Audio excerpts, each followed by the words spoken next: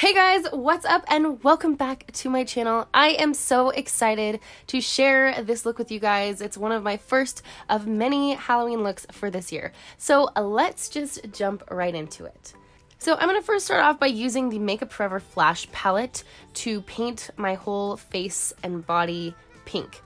I will say this flash palette does stain your skin and I don't think you're supposed to actually put it all over your face and body. So use it at your own risk if you do have the same palette.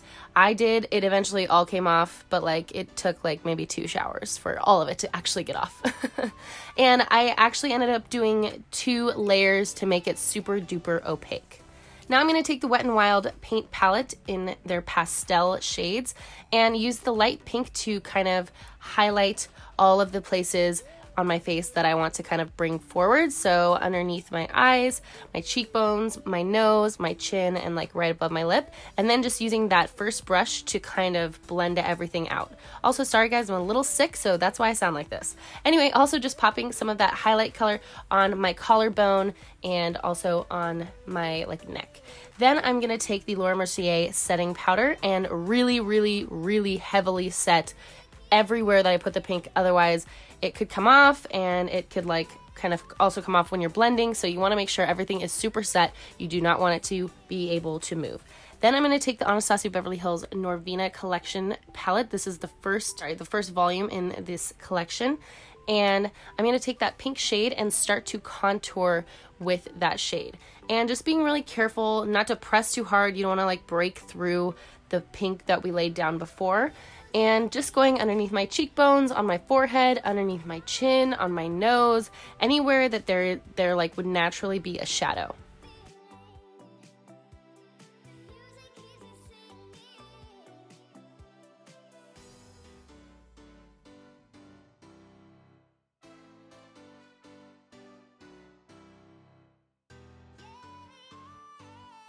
Now I'm taking Benefit's Brow Zings in the shade number three and using that to fill in my brows. And this is kind of like a neutral shade to begin with. And then I'm going to go over the top of that with the pink shade that we used to contour to kind of make my brows like a little more pink.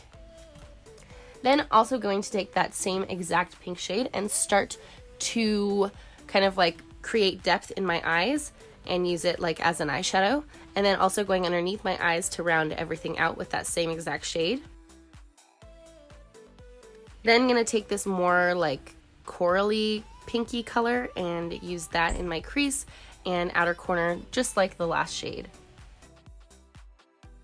Now mixing the black shade in the palette with that first pink shade to really darken up my crease and outer corner to add a lot of dimension and depth to this eye look and also of course going underneath my eye as well.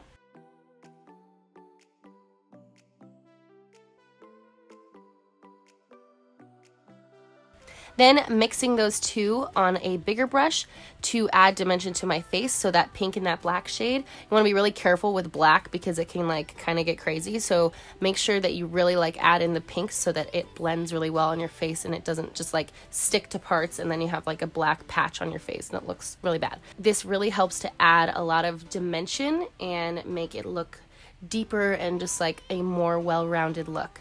Then taking these two kind of like shimmer shades and popping those on my lid. Then taking this Urban Decay 24-7 eye pencil and lining my waterline and then going in with the Eyeko Black Magic Liquid Liner to give myself a wing. And then taking the Luna by Luna highlight in Electra and popping that on my cheekbones to make it look extra special and like alien-esque and just like overall really beautiful, giving us that glow.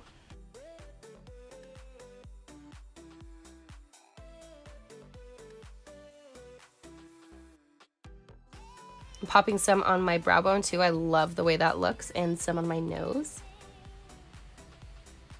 Now I'm taking Benefit's Bad Gal Bang mascara and I'm just gonna apply that to my lashes. Then taking Huda Beauty's Bachelorette lipstick and then gonna go over the top of that with Masquerade to kind of like darken things up just a little bit. And then taking my Huda Beauty mink lashes, popping those on. These are so freaking pretty. And then, like I said, going over the top of that lipstick with Masquerade, which is also from Huda Beauty, just to like kind of darken things up a little bit, add a little bit of dimension. How many times have I said dimension in this video? I don't know. You count. then just taking a little bit of that pastel pink and popping it in the center of my lip and then putting in my superhero contacts from Camo Eyes. These are like so pretty. I love these contacts. I feel like they could go with so many different looks. And that is it for this tutorial. I hope you guys enjoyed it. I love you so much. Thank you for watching. If you did like it, please give it a big thumbs up. And you can subscribe to my channel below if you want to see more videos like this. I love you guys, and I'll see you in my next video.